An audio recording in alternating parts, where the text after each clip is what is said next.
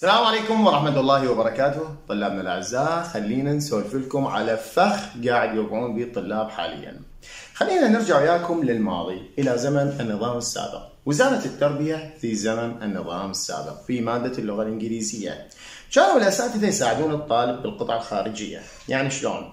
يعني سؤال القطعة الخارجية إذا رتبت السؤال بدون ما تذكر الجواب يعطوك عليه نص درجة. شلون؟ مثلا إجانا السؤال Where did علي play tennis؟ فهنا أنا يقول لك يابا إحنا نحذف أداة الاستفهام ونحذف الديد وإذا حذفنا الديد لازم الفعل حوله للماضي. هذا الترتيب راح يعطيك عليه نص درجة. خوش. زين وهسه حاليا. حاليا اللغة هاي مساعدة. ها أوقف. أنت بحثي. أنت تحب. ابويا ما قاعد لا بحث ولا هم يحزنون. إحنا قاعدين نسولف لكم على شغلة كانت موجودة في ذلك الوقت. ذلك الوقت لما انتهت هاي الشغلة لحد الآن الأساتذة مصرين يدرسوها. طيب الأساتذة القديمين أوكي. الأساتذة الجديدين إيش بيكم يعني أنتم تدرون إنه هاي الشغلة تغيرت. إنه ترتيب السؤال بالقطعة الخارجية بعد ما ينطون عليه درجة.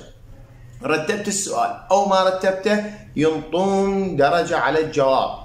Where did علي play tennis؟ لازم تذكر المكان اللي كان علي يلعب بيه تنس فأنت مال تشبع الطلاب بملاحظات وفيديوهات يعني الأساتذة أكو فيديوهات على اليوتيوب لعشرات الساعات كامش الطلاب 45 دقيقة و50 دقيقة يشرح لهم كيفية ترتيب السؤال وأنت تدري إنه ترتيب السؤال بعد ما عليه درجة. تقدرون تروحون إلى الأسئلة الوزارية للسنين السابقة وتشوفون إنه إذا الطالب كتب فقط الجواب يعطى درجة كاملة.